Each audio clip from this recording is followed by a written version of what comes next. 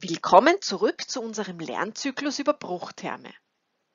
Damit wir Bruchterme in weiterer Folge dann vereinfachen und damit gut weiterrechnen können, sollten wir uns zuerst ansehen, wie man aus Termen gemeinsame Faktoren herausheben kann.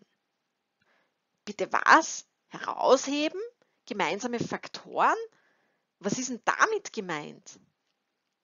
Dass das gar keine Hexerei ist, das zeige ich dir jetzt Schritt für Schritt in den nächsten paar Minuten. Also bleib dran!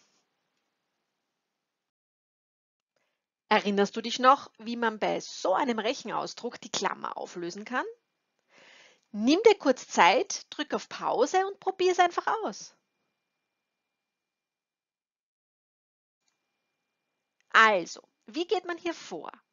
Man muss den Dreier mit beiden Summanden in der Klammer multiplizieren. Man erhält hier also 3 mal r plus 3 mal s. Vielleicht hast du das unter dem Begriff Verteilungsgesetz mal kennengelernt. Manchmal sagt man auch einfach nur, dass man die Klammer ausmultipliziert. Schau dir jetzt diesen unteren Term hier an. 5 mal x plus 5 mal y. Die Zahl 5 siehst du hier zweimal. Und zwar einmal als Faktor beim x und das zweite Mal als Faktor beim y. Beide Summanden des Terms haben hier also den gemeinsamen Faktor 5. Und den können wir herausheben, also vor eine Klammer schreiben. Wir erhalten dann das Produkt aus 5 mal der Klammer x plus y. Denn vom ersten Teil der Summe, da bleibt ja das x übrig, wenn man den Fünfer herausgehoben hat. Und vom zweiten Teil das y. Wenn du dir jetzt diese beiden Zeilen anschaust, dann erkennst du vielleicht, dass das Herausheben des gemeinsamen Faktors im Prinzip der umgekehrte Vorgang zum Ausmultiplizieren ist. Denn die linke Seite der oberen Zeile sieht ja der rechten Seite der unteren Zeile sehr ähnlich. Und genauso ist das mit der rechten Seite oben und der linken Seite unten. Dieses Herausheben bedeutet also, dass wir in einer Summe oder auch in einer Differenz von Termen einen gemeinsamen Faktor suchen. Und diesen gemeinsamen Faktor können wir vor oder auch hinter eine Klammer setzen, in der dann diese Summe oder Differenz aber eben ohne diesen gemeinsamen Faktor drinsteht. Und genau das wollen wir jetzt noch anhand von zwei Aufgaben üben. Die erste Aufgabe ist die folgende. Gegeben ist der Term c minus 2 mal c. Drück jetzt auf Pause, schau, ob du hier einen gemeinsamen Faktor finden kannst und heb diesen dann heraus.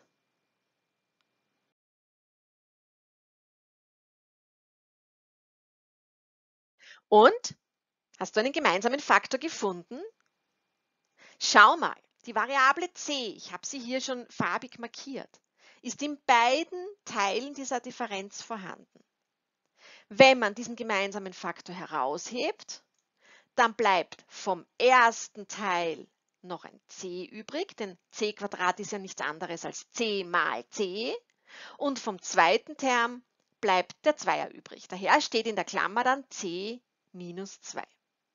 Wenn du dir bei sowas nicht ganz sicher bist, kannst du bei solchen Beispielen die Probe machen. Indem du die Klammer dann einfach wieder ausmultiplizierst, so wie wir es vorhin wiederholt haben. Wenn du das tust, erhältst du also c mal c minus c mal 2. Und wenn man das ein bisschen anders schreibt, erhält man genau den Anfangsterm c minus 2c. An diesem Beispiel hast du auch gesehen, dass dieser gemeinsame Faktor nicht immer nur eine Zahl, sondern auch eine Variable sein kann. Die zweite Aufgabe lautet folgendermaßen. Gegeben ist der Ausdruck 3e hoch 3 plus 6e hoch 2. Drück jetzt wieder auf Pause und such einen gemeinsamen Faktor. Und zwar am besten nicht irgendeinen gemeinsamen Faktor, sondern versuch den größten Faktor zu finden, den diese beiden Summanden gemeinsam haben. Und heb diesen anschließend heraus. Bis gleich!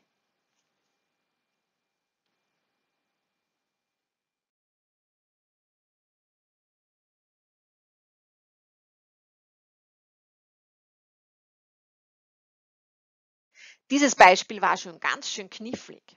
Lass uns mal vergleichen, ob wir beide den gleichen gemeinsamen Faktor gefunden haben. Der größte Faktor, den beide Terme gemeinsam haben, ist 3e Quadrat. Daher schreibe ich das mal vor die Klammer. Und in der Klammer bleibt dann vom ersten Term ein e übrig und vom zweiten ein Zweier. Daher steht in der Klammer e plus 2. Ist das jetzt ein bisschen zu schnell gegangen? Hm, ich zeige dir, wie du das ganz systematisch rechnen kannst. Dazu schreibst du am besten die beiden Terme am Anfang ein bisschen anders auf. Und zwar, indem du sie in möglichst kleine Faktoren teilst. Der erste Term wird dann zu 3 mal e mal e mal e und der zweite zu 2 mal 3 mal e mal e. Wenn du dir jetzt in dieser Form die Summe anschaust, dann erkennst du viel deutlicher, dass die beiden Summanden den Dreier und zwei E's gemeinsam haben. Ich habe sie auch schon in Rot markiert. Daher ist der größte gemeinsame Faktor, den man herausheben kann, 3 mal e mal e, also 3e Quadrat. Das ist der größte gemeinsame Teiler der beiden Terme, das GGT. Das hast du bestimmt schon mal gehört, oder? Und das, was bei der Summe übrig bleibt, das ist das, was hier jetzt nicht rot markiert ist, also e plus 2. Und daher schreiben wir auch e plus 2 in die Klammer. Auf diese Art kannst du auch bei den kompliziertesten Ausdrücken die größten gemeinsamen Faktoren finden. Das werden wir in diesem Lernzyklus noch an ein paar Stellen ganz ähnlich brauchen können. Was hast du in diesem Video also gelernt? In diesem Video ging es um das Herausheben gemeinsamer Faktoren.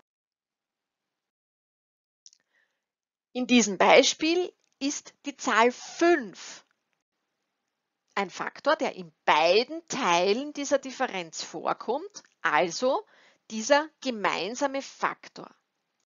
Herausheben bedeutet nun, dass wir diesen gemeinsamen Faktor vor eine Klammer setzen. Und in der Klammer bleibt dann der Rest der beiden Terme, der Differenz oder auch der Summe stehen. Dabei kannst du den Faktor 5 sowohl vor als auch hinter die Klammer schreiben. Denn in einem Produkt darf man ja, wie du bestimmt weißt, die Faktoren vertauschen. Dieses Herausheben gemeinsamer Faktoren werden wir noch an einigen Stellen in den nächsten Videos brauchen. Daher finde ich es wirklich toll, dass du bis zum Schluss durchgehalten hast.